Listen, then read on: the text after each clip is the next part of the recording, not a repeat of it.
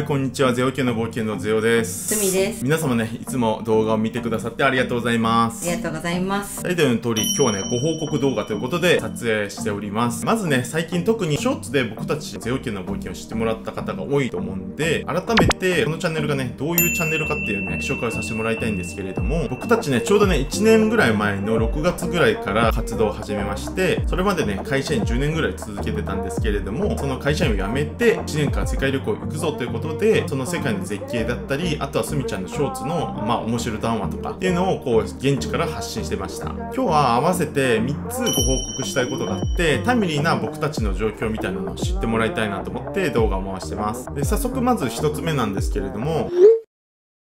の1年世界旅行ね回ってたんですけれども無事今今日ですねここ日本に、えー到着しました。ありがとうございます。いろんな動画でね会社員を辞めて世界旅行で出る夫婦っていうことで動画配信めちゃくちゃやってたんですけれども皆さんのおかげでね無事ね1年間旅もうまくいきましたしチャンネルもね育ってきて今5万人ということで本当に皆さんのおかげで走りきれたなと思ってます。ありがとうございます。ありがとうございます。ちなみにさすみさうん。世界旅行回ったじゃん。1年間回ったじゃん。どうだった？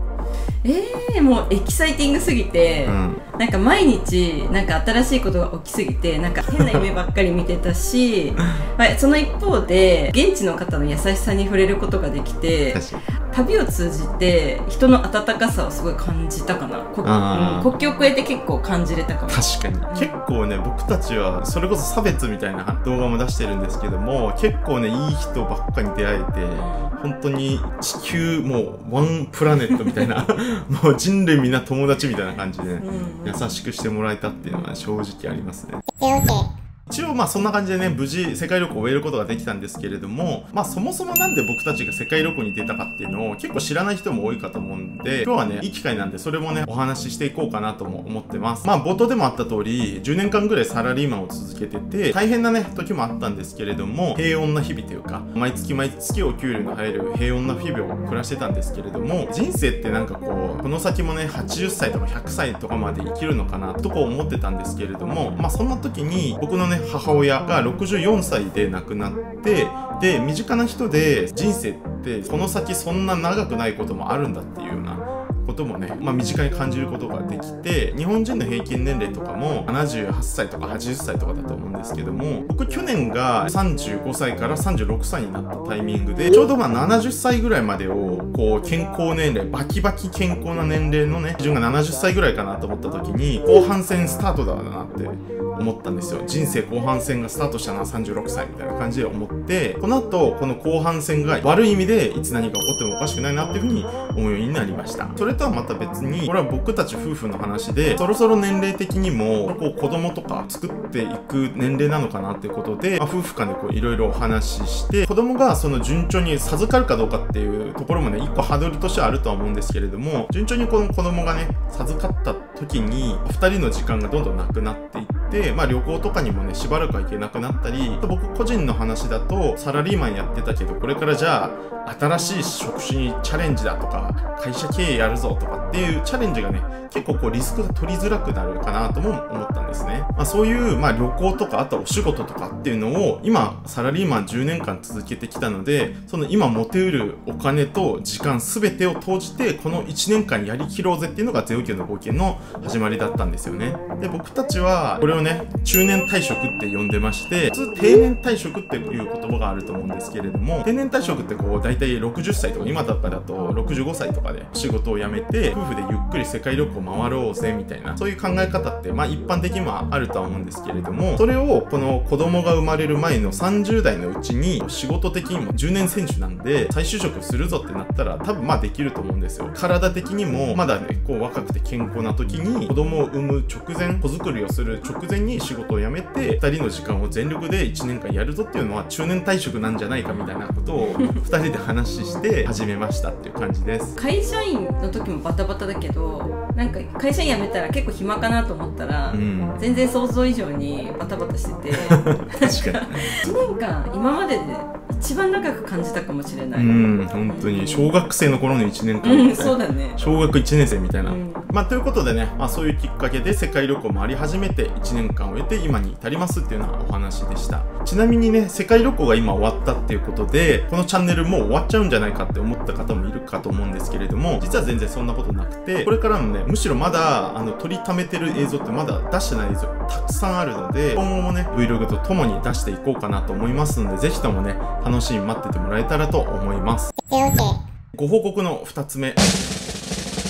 実はですね、今8月、2013年8月なんですけれども、8月末に世界旅行第2弾スタートしていこうと思います。で、1周目がね、ドバイとかバリとか、まあ、西回りで1周回ったんですけれども、今回はハワイから東回りでヨーロッパ、東南アジアでこうぐるっと日本に回ろうかなと思ってます。結構ね、これは正直バタバタしてて、もう本当はね、もうちょっとゆっくりしてから、旅に出て出たくなってからご褒美旅行みたいな感じで出たかったんですけども、1年間全力でお金と時間を投じてやるぞって決めてから、だらだらちょっとまた回っててもね、またその、なんか年齢的なとことか、子作り的なところとかがどんどんどんどんこうずるずる後ろ倒しになるのでここはちょっとね気合い入れてあまりスパンを空けずに2周目回ろうかなと思ってます2周目はね第1周目で回りきれなかったところとかあとはちょっとおかわりしたいところ季節が変わってね前回冬で見たところ今回夏で見るみたいなこういったところを中心にね回っていこうと思いますのでその様子はねぜひとも Vlog でお届けしようと思います。で今はですね今 Vlog を中心に出してるんですけれども世界旅行1周終えたっていうところでどういう風にこう効率的に回れば、あの、お金節約できるかとか、あとはもう一番 DM とかでいただく質問で、世界旅行っていくらお金かかりますかと、とかそういった質問をたくさん今いただいている最中なので、こういったところもね、Vlog とは別にトラベル Tips、旅行のね、Tips、コツみたいなところを今後ね、えー、このチャンネルでは出していこうかなと思ってます。あとは、この1周目の時やらなかったんですけれども、2周目では現地から YouTube ライブで、現地のその、例えばハワイのビーチで歩きながらとか、スイスのアルプス山脈を背景にで YouTube ライブをして現地の様子とか、まあ、Q&A とかですねそういった YouTube ライブもできたらちょっと挑戦していきたいなと思っててこれはねまだちょっとインフラとか機材とかがどういう風なもんでできるのかちょっと分かってないので今準備している最中なんですけどもそういったところもね第1期でできなかったところを挑戦していこうと思ってます。ご報告の3つ目。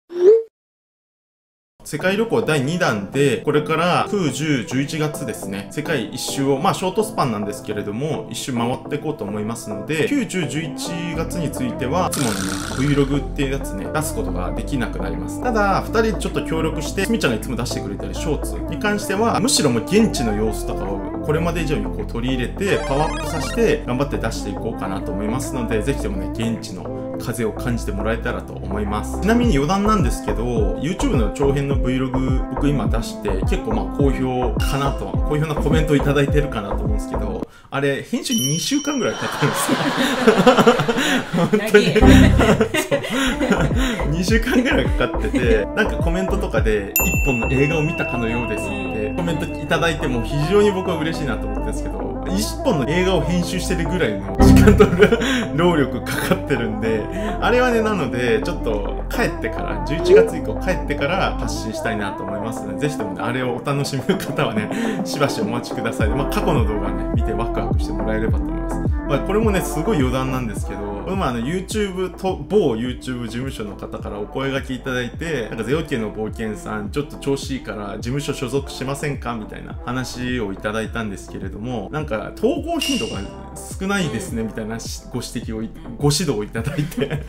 あれどんぐらいかかってるんですかっていうのに、いや、1本2週間っすね、っつったら、はみたいな 何されてるんですかみたいな。え、1日10時間編集されてて、2週間140時間。編集してて、何してんですか？みたいなって言われるんですけど、まあ僕らはね、なんかこの、いわゆる YouTuber みたいな、こう企画ものとかドッキリとか検証とかいうのは、あんまりちょっとこう、性に合ってないっていう感じで、これまで通りね、ああいうこう、人生ワクワクするような動画っていうのを出していきたいと思うんで、まあ、引き続きね、あのスタイルでお楽しみいただければと思います。ということで、今日のね、ご報告っていうところは以上になります。最後までね、今日もご視聴いただきましてありがとうございます。今後もね人生がワクワクするような世界各地の絶景と面白談話発信していきますので是非ともねいいね登録で応援してもらえると嬉しいです。ということで人生は自己実現と家族高校ゼロ家の冒険は続く。